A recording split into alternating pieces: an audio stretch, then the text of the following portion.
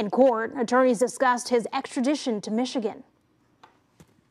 Mr. Higgins, uh, is that correct? You wish to uh, require a governor's warrant for extradition?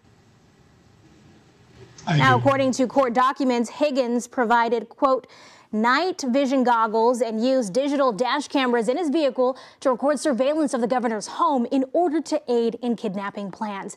And all 14 people now face charges. Authorities released images of the suspect seen taking surveillance video of the governor's vacation home, mapping out their alleged plan, and video of one suspect showing off his cache of weapons.